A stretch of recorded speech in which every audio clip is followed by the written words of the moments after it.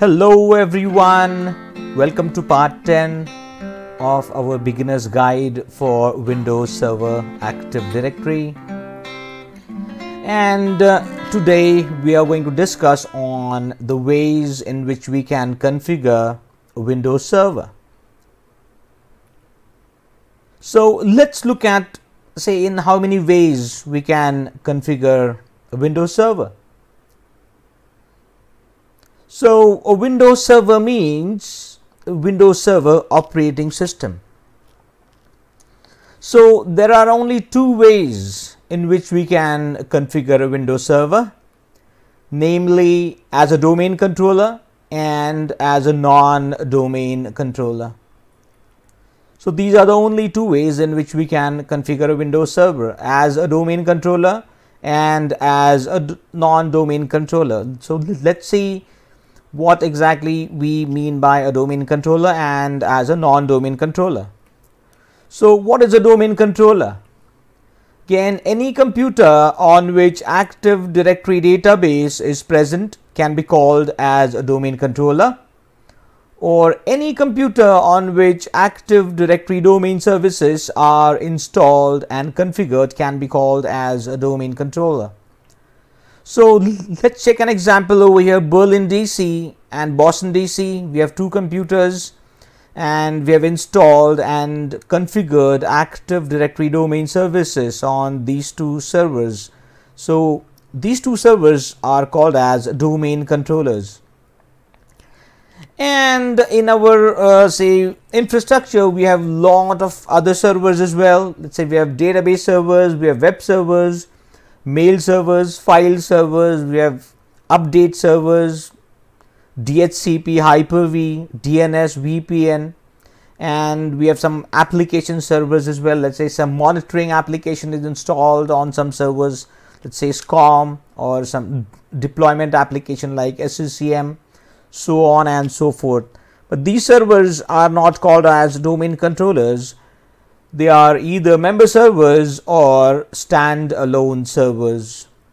So there is a very clear distinction between a domain controller and say a non-domain controller. So let's discuss the domain controller and non-domain controller. So we are going to discuss the ways in which we can configure Windows Server. So broadly speaking, we can configure a Windows Server as a domain controller and as a non-domain controller.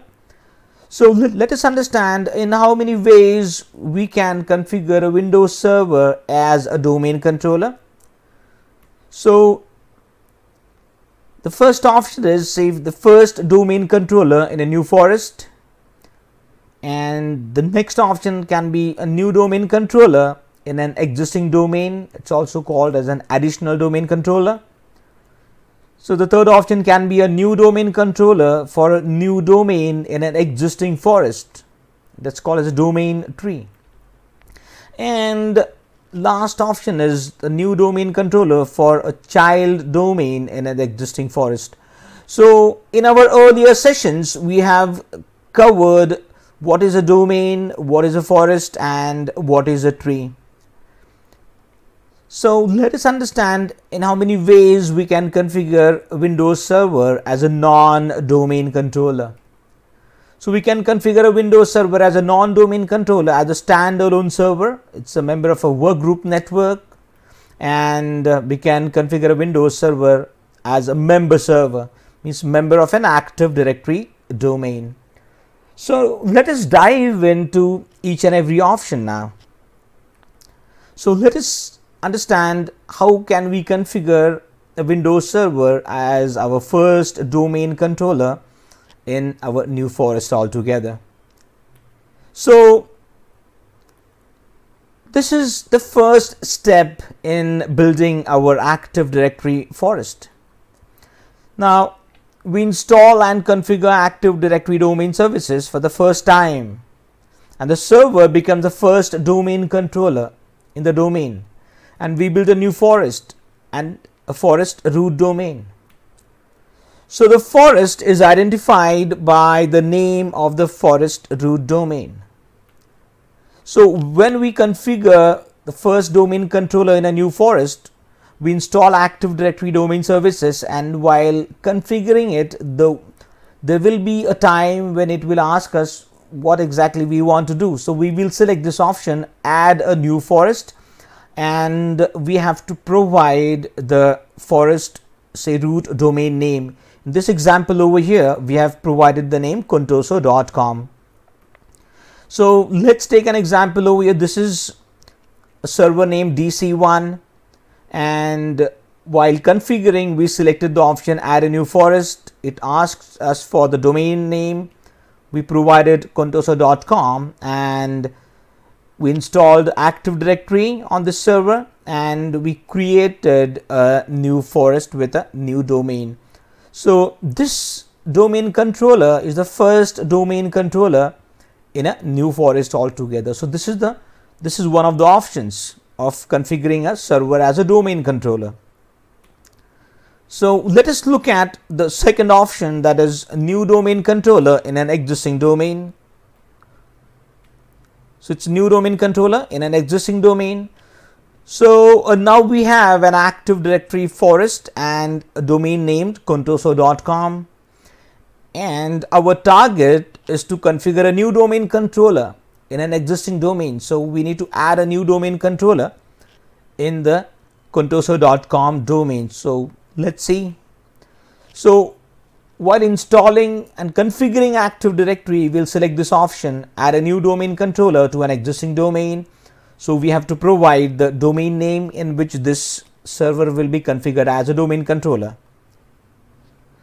So now we have our contoso.com domain and we also have one domain controller. Now we have a server named DC2. So we installed and configured Active Directory and this domain controller now is our say new domain controller in an existing domain and this domain controller is also called as an additional domain controller so now we have say more than one domain controllers in contoso.com domain. So if you want to add a third one, you need to follow the same steps. Just select the option, add a new domain controller to an existing domain. So there will be a third domain controller in contoso.com domain.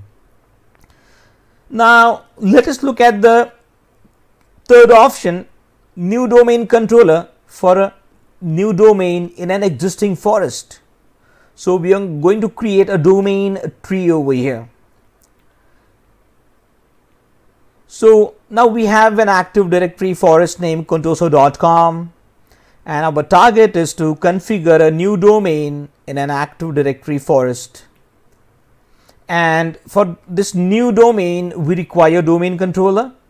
So while configuring active directory, we'll select add a new domain to an existing forest and we'll select the domain type as tree domain and we need to provide the forest name and the new domain name here in this example our forest name is contoso.com and our new domain name is east.contoso.com so it's somewhat like this. We have our active directory forest and a domain a single domain inside it contoso.com now we need to our target is to create a new domain in an existing forest. So we have one server. Now we installed active directory on dc4 and we configured it and while configuration we selected the option say new domain in an existing forest and we created east.contoso.com as a new domain in an existing forest and this will be our new domain controller in a new domain in an existing forest. So DC4 is our new domain controller in a new domain in an existing forest named contoso.com. Contoso.com is our forest. So let us look at the last option how to configure the ways in which we can configure a server as a domain controller that is new domain controller for a new child domain in an existing forest. So we have an active directory forest now named contoso.com. Now our target is to configure a child domain to contoso.com domain. Now for this new child domain, we require a domain controller. So contoso.com will be our parent domain and uh, west.contoso.com will be our child domain. So we will be configuring west.contoso.com as a new domain, but that will be a child to contoso.com and contoso.com will be the parent domain for west.contoso.com.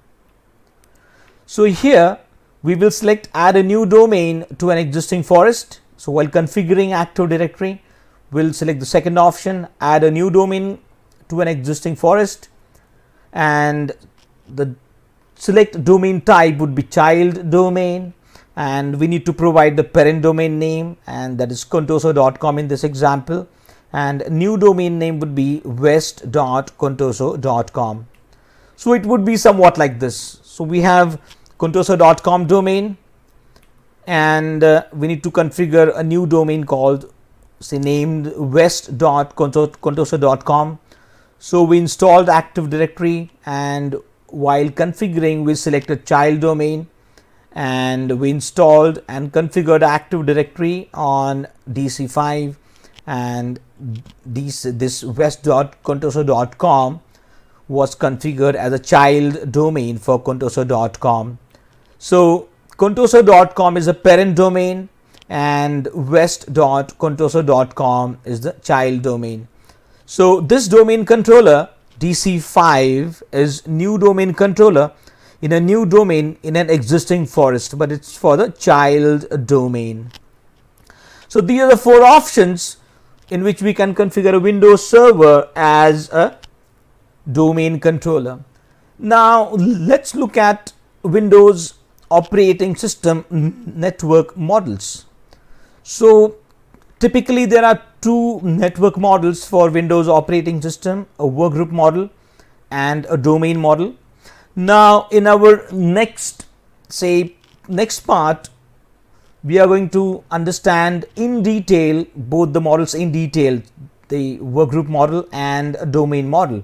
So we'll understand the difference between a domain network and a workgroup network in detail in our next session. So Windows operating system has two network models, a workgroup model and a domain model. So this is you make uh, say you must uh, know this thing any Windows computer either is a part of a workgroup network or a domain network full stop we don't have any third option so any Windows computer either is a part of a workgroup network or a domain network. It's somewhat like this. Member of either a workgroup network or a domain network. So this particular computer name desktop hyphen 24 is the member of a workgroup network named workgroup. So any just remember one thing any Windows computer either is a part of a workgroup network or a domain network. We don't have any third option. So let us look at what a standalone server is or what a member of a work group is all about. So whenever a Windows server is not a member of an Active Directory domain, by default it's a member of a workgroup environment. So such servers who are a part of a workgroup environment are called as standalone servers.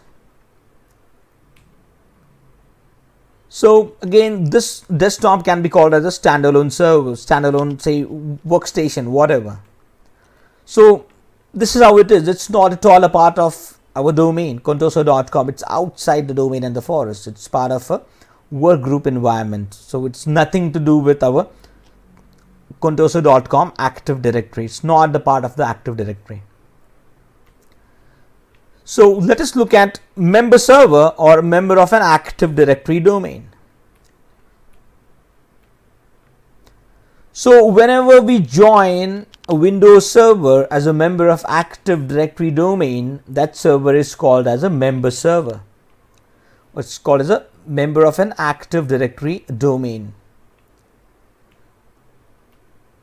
So this is how it is. So this particular server name dhcp-server is a member of contoso.com domain. So the full name of this server is dhcpserver.contoso.com. So let's say we have we need to add or we need to join the Windows computers as a member of Active Directory domain. So whenever we install Windows by default it is the member of a workgroup environment and as an administrators we need to join the computers or Windows say uh, client computers or servers as the member of our Active Directory domain. So let us summarize what we have say covered in today's session. We have seen the ways in which we can configure Windows Server. There are two ways as a domain controller and as a non-domain controller. So there are four ways in which we can configure a Windows Server as a domain controller. That is the first domain controller in a new forest, new domain controller in an existing domain. It's also called as an additional domain controller. New domain controller for a new domain in an existing forest that's called as domain tree. And new domain controller for a new child domain in an existing forest it's called a child domain. And as a non-domain controller we can configure a windows server either as a member server or as a standalone server means is a member server means a member of an active directory domain or standalone server means it's not the part of active directory it's the part of work group network. So this was enough part 10. Hope you have enjoyed today's session and thank you again for joining today's session. If you think this channel is helping you to learn anything new, please subscribe and share this channel with your technical community and have a great day.